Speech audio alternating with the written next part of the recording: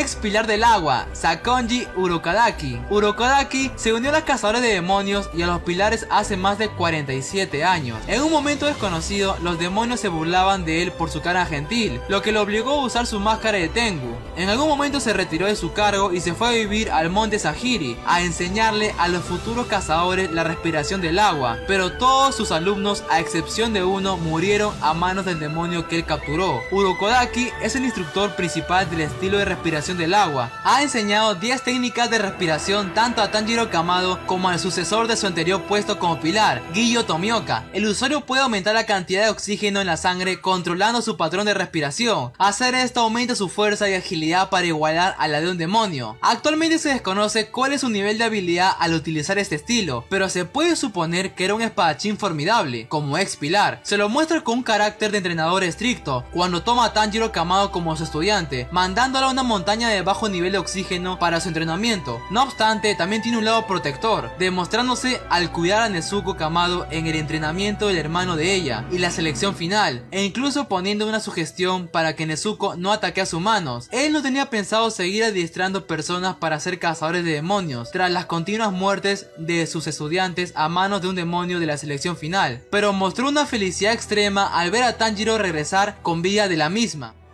Lograste sobrevivir.